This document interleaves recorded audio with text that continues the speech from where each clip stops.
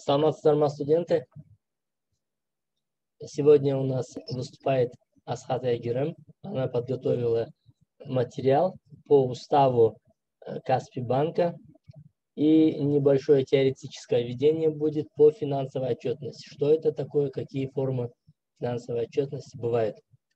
Вот Айгерем мне отправила, сейчас я демонстрацию экрана включу, чтобы вы все посмотрели.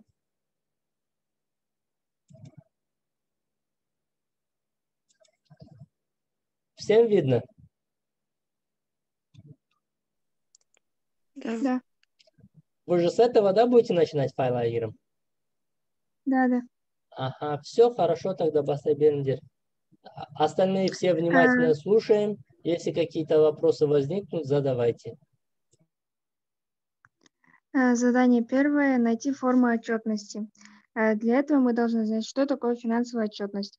Финансовая отчетность – это совокупность форм отчетности, составленных на основе данных финансового учета с целью представления пользователям обобщенной информации о финансовом положении и деятельности предприятия, а также изменениях в его финансовом положении за отчетный период в установленной форме для принятия этими пользователями определенных деловых решений.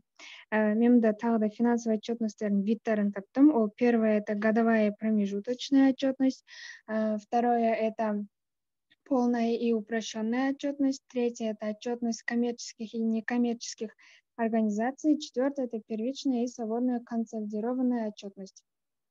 Потом Основные формы финансовой отчетности организации – это первое – баланс, второе – отчет о прибыли и убытках, третье – отчет о накопленной прибыли, четвертое – отчет о собственном капитале, пятое – отчет об изменении в финансовом положении, шестое – отчет о движении денежных средств и седьмое – последнее – примечание и дополнение. А, потом э, я также нашла форму бухгалтерской отчетности. Это первое э, – бухгалтерский баланс, второе – отчет о финансовых результатах, третье – отчет об изменениях капитала, четвертое – отчет о движении денежных средств и пятое – пояснение к бухгалтерскому балансу. Мына э, жерде задание первое забыла изменить ол екі э, задание второе исследовать предприятие рассказать о пф найти устав организации. Э, Устав – это правовой акт, определяющий права, функции, структуру организации в сфере государственной, коммерческой или общественной деятельности. Текст устава состоит из нескольких разделов, то есть первое – это общее положение, Второе – это цели, задачи, предмет деятельности.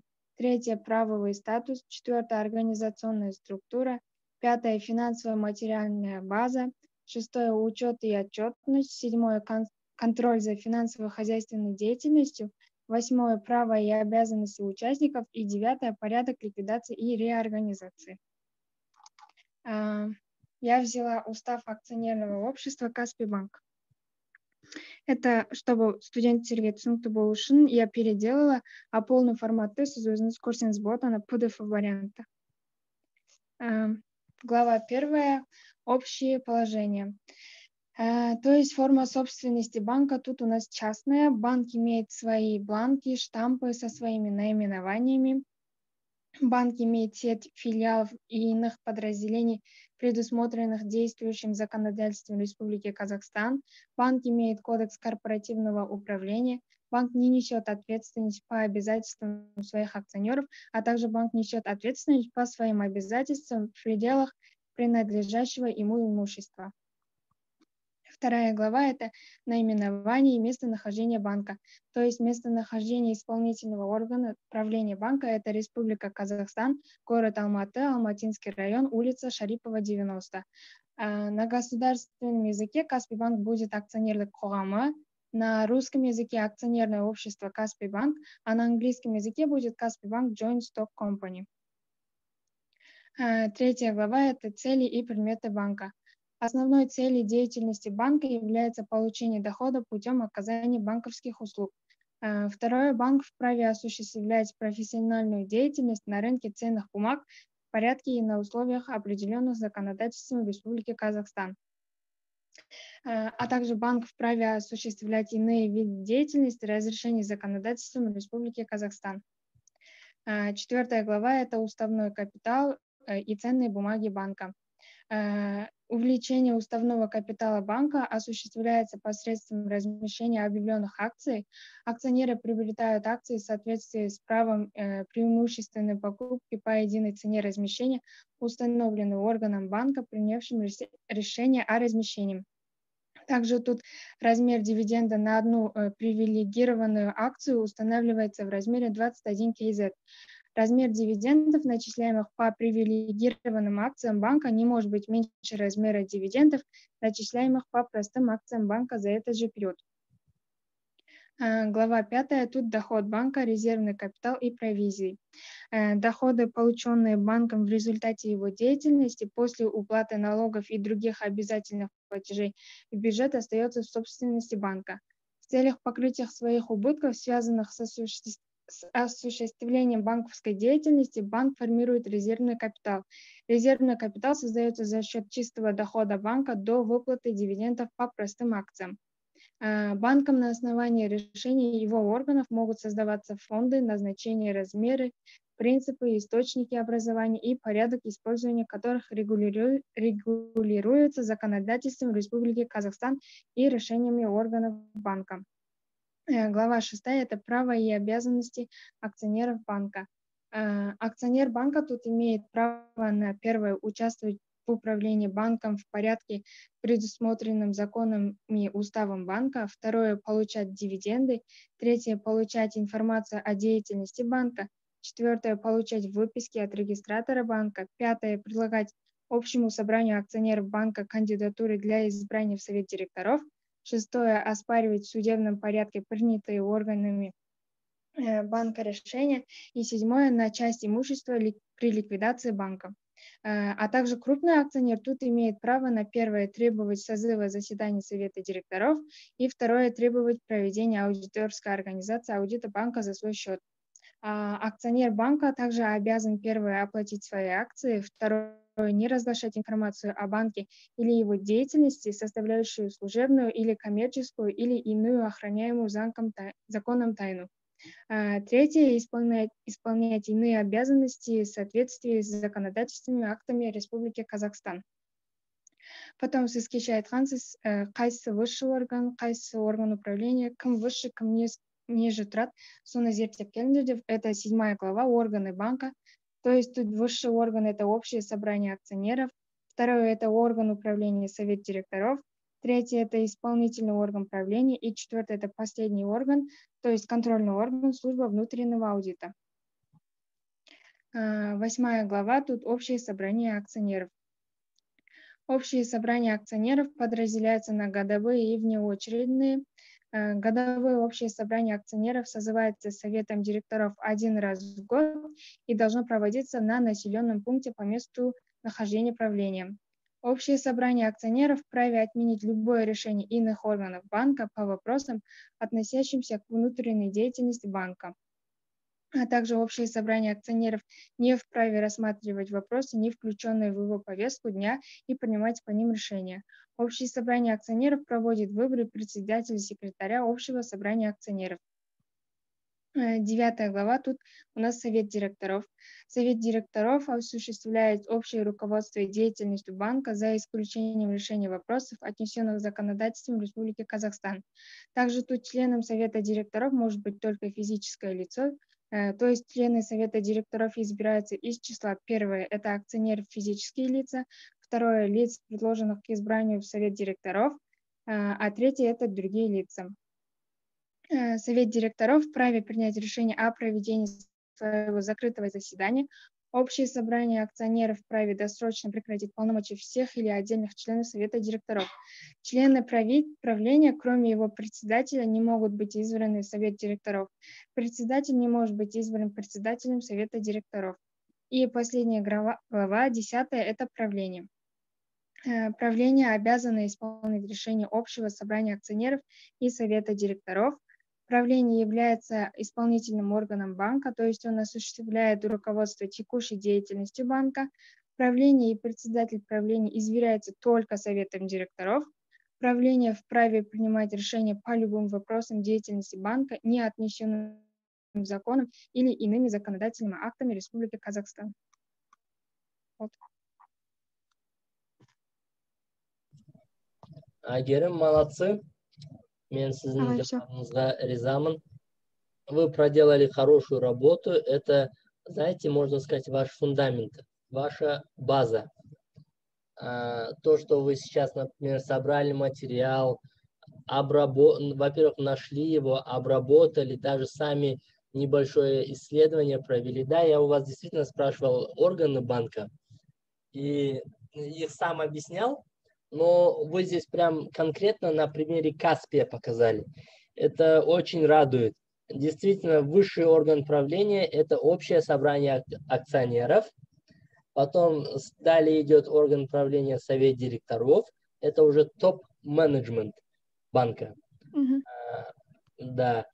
А, Значит, э, председателем совета директоров э, Каспи банка является Ламтадзе. Э, Это и на сайте банка написано. Э, Следующий по ступени идет исполнительный орган правления и потом контрольный орган служба внутреннего аудита. Все правильно вы сказали. Э, Эту информацию мы даже можем сами убедиться в правильности этой информации, зайдя на сайт Каспи КЗ банка. А у меня к вам один вопрос.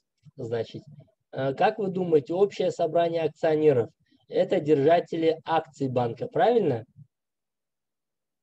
Как вы Да. думаете, э, именно какие нужно быть держателем каких э, акций банка, чтобы входить э, в совет акционеров?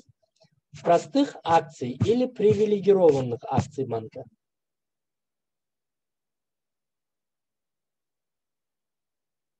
Ага, повторите вопрос. М, Какие акции у вас должны быть, э, чтобы вы входили в собрание акционеров? Простые акции вы должны банковские покупать или привилегированные?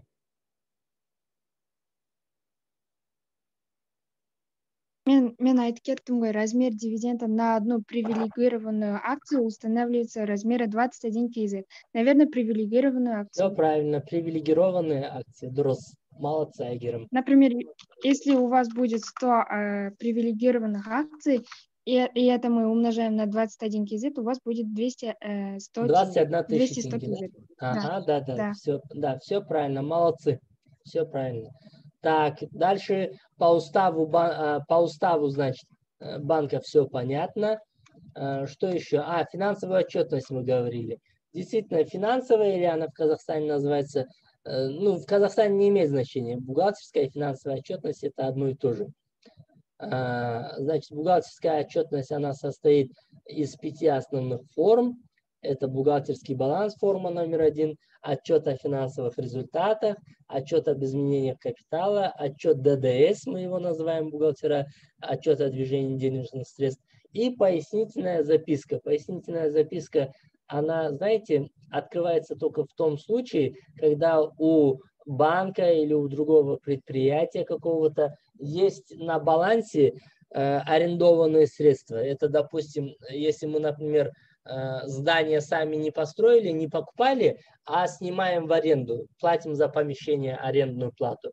Вот в таком случае это здание не может у нас на балансе находиться, оно может быть э, учтено только в пояснительной записке к бухгалтерскому балансу.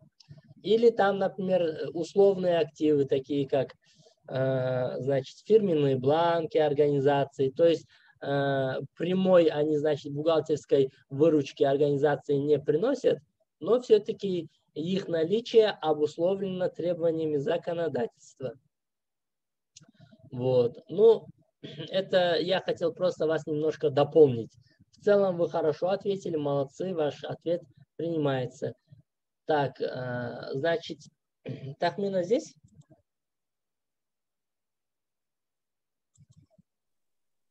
Ага, Тахмина здесь. Тахмина, вы мне, пожалуйста, напишите э, группы, на которые разделились ребята, и кто какую организацию выбрал. Точно так же, кроме банков, вы могли выбрать, как я вам говорил, и другие э, значит, э, предприятия, но основным условием является, чтобы вы по ним могли находить информацию. Э, Поэтому я вам могу предложить, кроме банков, здесь вот Куздар спрашивали, Наргиз, по-моему, спрашивал, что еще можно выбрать. Вы можете выбрать Казах Телеком, вы можете выбрать Билайн, можно Air Astana выбрать правильно, Алина, все что угодно. Если вы заметили, э, все эти организации, они осуществляют свою деятельность э, в организационно-правовой форме акционерного общества. Э, вам, значит, на завтра задание, вот до обеда, Тахмина, вы должны будете со всеми, как мы с вами обусловились, со всех собрать задания, на примере Айгером выполненные там устав организации, что такое финансовая отчетность и так далее. По финансовой отчетности только теоретический э, материал, а по уставу полностью скачайте устав организации на сайте, на, на ее сайте. До обеда мне отправите, после обеда мы с вами встречаемся, и вы, значит, э, ну, как бы сказать, выступаете э, с подготовленным материалом. Демонстрацию мен өзім сізге қоса салам демонстрацияны. А, что еще? Также я для вас сегодня готовил задание, но я вынужден буду его, как бы сказать, ополовинить. Часть задания я вам задам на завтра, а остальную часть уже вы получите завтра, потому что, э, ну, чтобы для вас нагрузки такой большой не было. Задание, значит, звучит таким образом.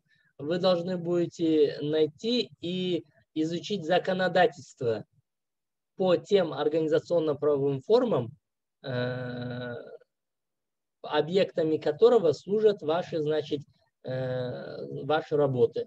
Допустим, если Айгерим подготовила э, ну, устав АО Каспий банка, значит, она на сайте, я вам сразу информационный портал подскажу, Адлет KZ или закон KZ, не закон KZ, он называется параграф KZ.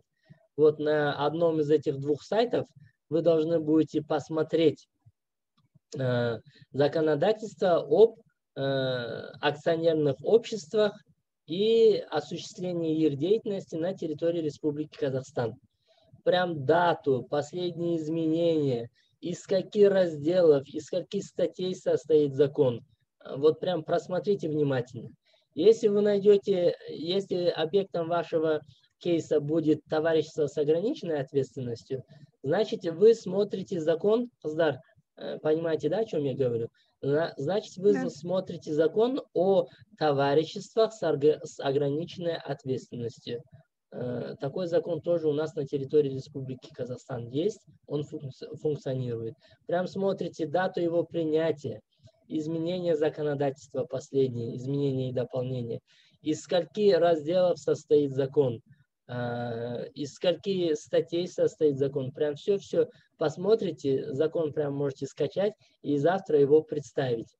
Но я думаю, что, скорее всего, вы все выберете акционерное общество, потому что э, акционерное общество по законодательству нашему казахстанскому э, и международному должны э, свою, как бы сказать, информацию э, загружать на сайте. То есть их информация должна быть публичная.